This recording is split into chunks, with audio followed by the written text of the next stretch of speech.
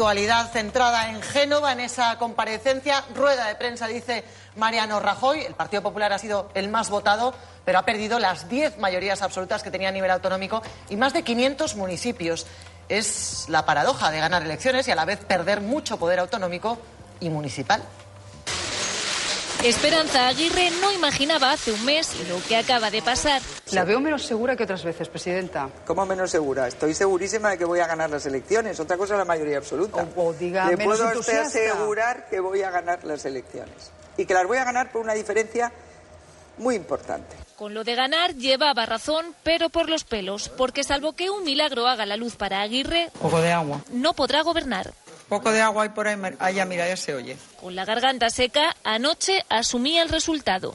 Hemos recibido el mensaje de los madrileños porque somos conscientes que hemos pasado del 48% al 34,4%. Oye, oye, mira, Esperanza, que sale por ahí. Su imagen marchándose de Génova antes de que terminara el recuento ¡Está saliendo! parecía augurar una mala noche. El Partido Popular seguiría siendo la fuerza mayoritaria a nivel municipal y a nivel autonómico en España. Los populares pierden dos millones y medio de votos, pero ellos prefieren la lectura positiva. Los ciudadanos han querido que ganásemos, pero que ganásemos eh, pues con la segunda victoria más importante que ha tenido el Partido Popular desde 1999. ¿no? Este resultado sería envidia, es envidiado ¿no?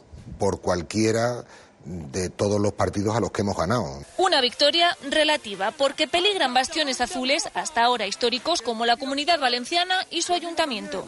Y debemos ser conscientes de esa realidad y a partir de ahora tenemos que trabajar para recuperar la confianza. Cospedal ha perdido la mayoría absoluta en Castilla-La Mancha. De 33 escaños, 16 han sido para el Partido Popular. Y Luisa Fernanda Rudi en Aragón. José Antonio Monago pierde Extremadura Nosotros hemos hecho todo lo posible como Partido Popular en nuestra comunidad autónoma. Lo hemos hecho lo mejor que sabíamos y podíamos. y en Baleares José Ramón Bauzá baja 15 escaños. Algo hemos hecho mal para que muchos ciudadanos nos hayan retirado su confianza en estas elecciones. Se acabaron las mayorías absolutas para el PP. Quizás esta tarde en el Comité Ejecutivo Nacional toque dialogar. Pues de los resultados envidiables que decía anoche Floriano a un poco de autocrítica a esta hora de la tarde, Miguel Ángel. Sí, yo creo que es una victoria muy impresionante, pero ¿te acuerdas aquello de otra victoria como esta y perdemos la guerra? O sea que, eh, que esto es la preparación de lo que espera al Partido Popular en las elecciones de otoño. Yo creo que sí, que además han jugado a fondo la mejor baza que tenían. Y la mejor baza que tenían, mamen, no tenemos duda que era Rajoy.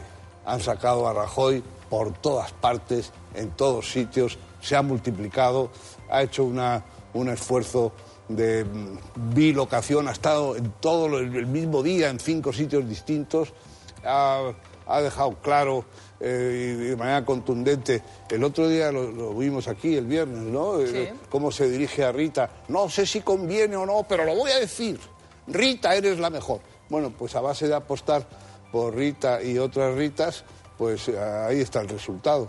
Pero lo más importante para mí es que hemos pasado de la Puerta del Sol, de los indignados aquellos de rodea el Congreso y de no sirven las instituciones, a una cuestión muy relevante.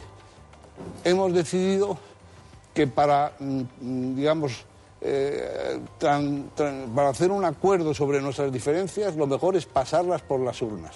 Y entonces eso me parece de una, de una importancia fantástica.